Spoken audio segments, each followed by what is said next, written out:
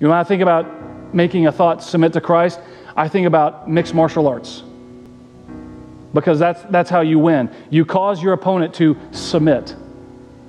And so I, I just think Paul is like, hey, do we have a volunteer that I can make submit real quick? Anybody? No, Matt's like, yeah, me.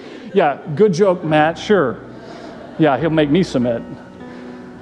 I think about, I think about uh, taking that thought, I think about taking that thought and boom, driving it to the ground, making it submit to Christ. That's violent, right? That fired me up a little bit. That's the kind of interaction, that, that, that's, that's how we ought to be handling our thoughts and our mind, making our thoughts submit to Christ, thinking God thoughts rather than merely human thoughts.